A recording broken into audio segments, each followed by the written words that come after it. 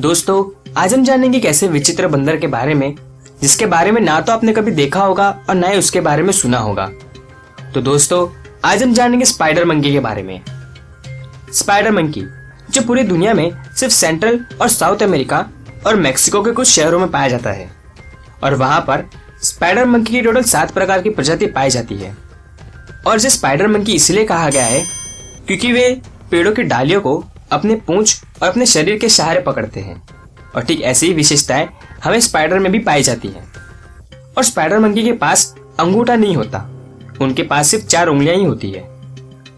और पिछले कुछ सालों से स्पाइडर मंकी की संख्या धीरे धीरे कम होती जा रही है। क्योंकि इंसानों की वनों की कटाई, उसके मांस के लिए शिकार करना और गैर कानूनी तरीकों से दूसरे शहरों में उसे बेचना। और वैज्ञानिकों के अनुसार स्पाइडर मंकी को एक आर्बोरियल एनिमल माना गया है। मतलब वह प्राणी जो अपना ज़्यादातर जीवन झाड़ों पर ही बिताता है। और इसके अलावा स्पाइडर मंकी को एक डियोर्नल एनिमल भी माना गया है। मतलब वह प्राणी जो दिन में सक्रिय रहता है और रात को सोता है। और स्पाइडर मंकी ज़्यादातर ग्रुप में पाए जाते हैं, जिनके ग्रुप को ट्रॉप्स कहते हैं। स्पाइडर मंकी एक सर्वाहारी प्राणी है। और स्पाइडर मंकी नब्बे प्रतिशत फ्रूट्स और फ्लावर्स को कंज्यूम करते हैं।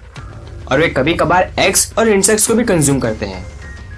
और जंगलों में स्पाइडर मंकी का शिकार ज़्यादातर जगवार्स और स्नेक्स करते हैं।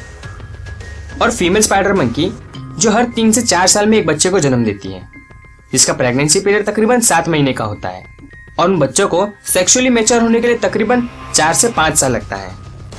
स्पाइडर मंकी की हाइट और वेट निर्भर करता है उनकी प्रजाति के ऊपर, लेकिन एक एवरेज स्पाइडर मंकी की लंबाई तकरीबन दो फीट तक ही हो सकती है, और वेट तकरीबन छह किलोग्राम से भी अधिक हो सकता है।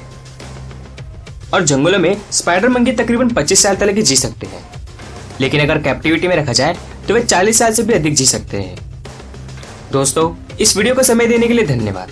अगर आप इसी तरह से एनिमल्स के बारे में जानकारी प्राप्त करना चाहते हो तो आप हमारे चैनल को सब्सक्राइब कर लीजिए, ताकि आने वाले हर वीडियो की नोटिफिकेशन आपको सबसे पहले मिल सके। क्योंकि हम इसी तरह से एनिमल्स के बारे में जानकारी देते रहते हैं। और यह वीडियो आपको कैसा लगा, हमें कमेंट बॉक्स में लिखकर ज़रूर बताएँ। And yes friends thanks for watching the video